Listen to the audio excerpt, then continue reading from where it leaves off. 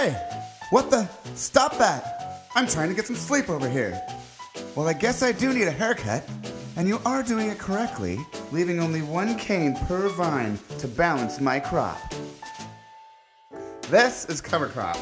It gives my soil nutrients and deprives me of water, which totally stresses me out. It just takes what it wants. But isn't it beautiful? Look at it just blowing in the breeze. This is bud break. Pretty much like my coming out party, except this is where. Oh my god, Becky. Look at her bud. It is so big. Round, it's like out there. I mean, gross. Look. I like bud break and I cannot lie. You other buds can't deny. This is flowering, and these are my flowers. As long as there's no wind or rain, every one of these flowers could become a berry. Come on, Mother Nature. Big bucks, no whammies, stop! Look at those little berries. I'm so set. Whoa, hey, what are you doing there? Those are my clothes. If you're gonna get all frisky, shouldn't you at least take me out to dinner first? Oh, Jesus, look how fast he's going. Just the ripping and the tearing. The ripping and the tearing. Well, I guess I do need to get a little airflow going in here. Don't want to get any mildew on my beautiful clusters. Here comes the sun, doo doo doo.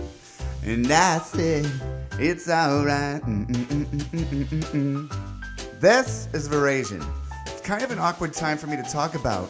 This is where my sugars increase and my acids drop. I don't know what's going on. It's crazy. The vineyard manager says it's the perfectly normal time in my life. I just hope my voice doesn't change or I grow moobs or something. Oh, I'm the king of the vines. I'm the vine master. I count on them. Excuse me, vineyard manager. Can I get some sunblock over here? I don't want to turn into George Hamilton before harvest. Alexander Valley gives the best facials in wine country. I get to relax in the mist all night and into the late morning most summer days. It's called the diurnal effect. Whoa, buddy. Hey, what's going on? What? This is a little premature, don't you think? Ah! Look at the aftermath. It's a massacre. Oh my god. If you want to be the best Cabernet possible, you must drop some unnecessary weight. These are the vineyard dogs. Here they come again. Oh lord. No organic fertilizer today, boys, please. I am not a fire hydrant.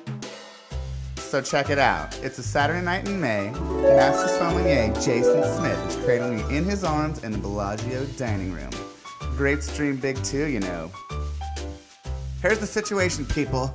It's harvest time, it's October. I'm sitting at about 24 Brix. My tannins are soft and smooth. I am ready for the big dance. This is the Vineyard Crew. Watch them pick in slow motion. It's pretty badass. Look at all that picking. Here they are picking Chardonnay in the middle of the night. They're crazy. So here they are picking in slow motion again. Oh, they pick backwards too? Oh my god, you can see their breath. It's cold. They really do give a shit. Whoa, watch out, says that man. Over here, pick me, pick me. It's time to get this party started. Oh, fancy meeting you here. What's your sign? I'm a Libra. Ugh, get off of me. I can totally smell your bouquet.